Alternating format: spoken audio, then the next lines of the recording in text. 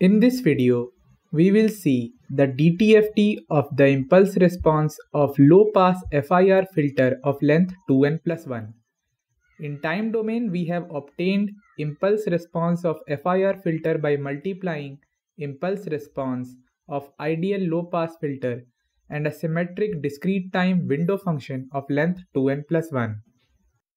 This is the magnitude spectrum of window function. This is the magnitude spectrum of ideal low-pass filter.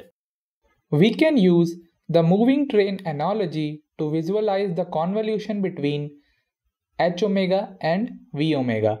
Following is the animation when we change omega continuously from minus pi to plus pi. When omega comes in between minus omega c to plus omega c, where omega c is the cutoff of the low pass filter, then the major lobe will be contributing, which again diminishes when omega becomes greater than omega c. What we understood from this video. The effect on DTFT of a low pass filter when the impulse response is truncated, preserving its evenness. This concept is known as finite impulse response low pass filter design.